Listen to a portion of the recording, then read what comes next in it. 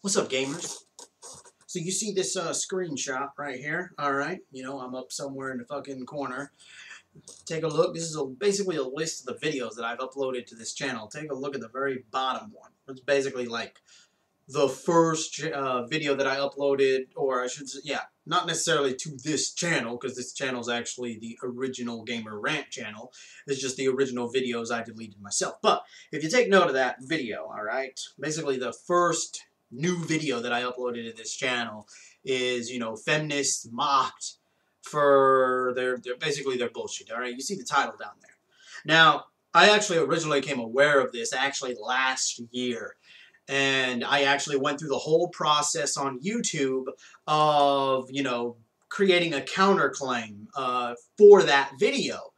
And yet, you know, I actually noticed it uh, just now when I was looking at my list of videos that it's actually officially been deleted. Before it was like, it's been deleted, but you can undelete it.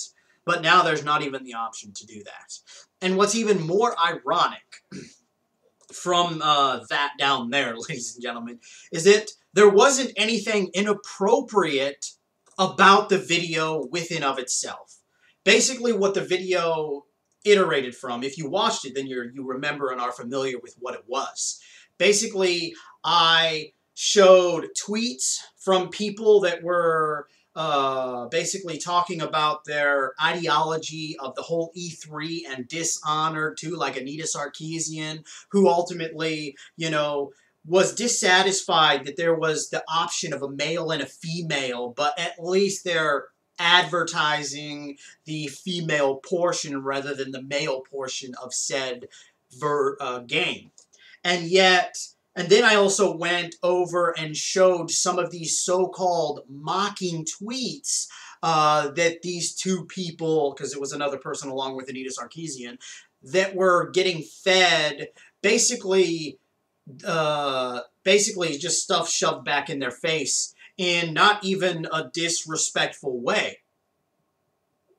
It is kind of ironic that the video in question below was flagged as inappropriate, and we know what it was. No doubt a bunch of feminists, because I did actually tweet um, the video to both of the um, to both Anita Sarkeesian and whoever the other person were. I actually put them in the tag of the tweet so that the video could go there.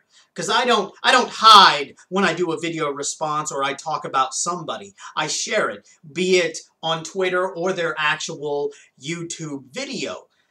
But of course, I guess that was a bad idea when it comes to feminists because they can't handle the honest truth. Because there was nothing inappropriate about the video. It was me showing tweets from both sides of the quote-unquote argument and giving you my thoughts and opinion on both sides of the quote-unquote argument.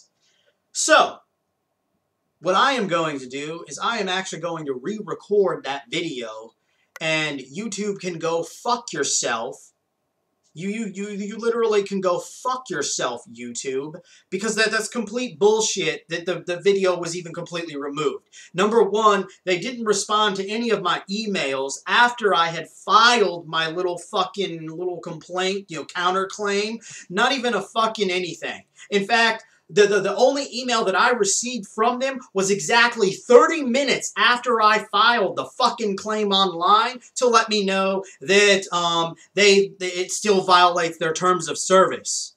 Bull fucking shit because your automated system is fucking stupid and you need real fucking people to look at this shit.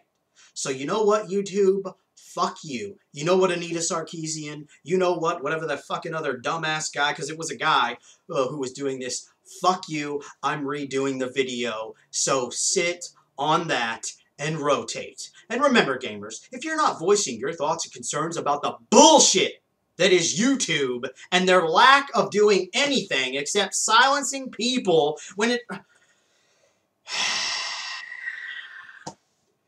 You just might be a part of the motherfucking problem.